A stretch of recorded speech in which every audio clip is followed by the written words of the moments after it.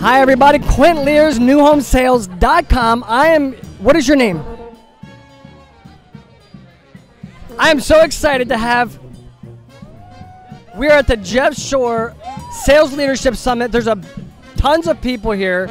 Um, what do you think, what, what do you think is happening with the market right now? What, that's very insightful. What can we do, um, you know, to be market prepared? What do you think? What do uh, salespeople and home builders need to know right now, today, in 2017? Hey, man, that's well said. Oh, how do we get? We need to get your friend on the program. How do we do it? How do we do it? Uh, come here. We're doing a live interview. Here we go. Here we go. So, so hold on. Let's see if we can get this in here. Do it. So, hey, come down here. How are we doing this so far in this program? Oh, you're doing a great job. We're all having a great time.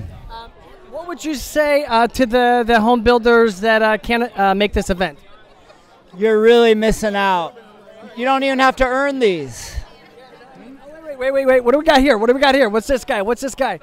Oh, man, watch this. Watch this. Hey, look at this. Look at this. Hey, man, trifecta. We're here at the trifecta.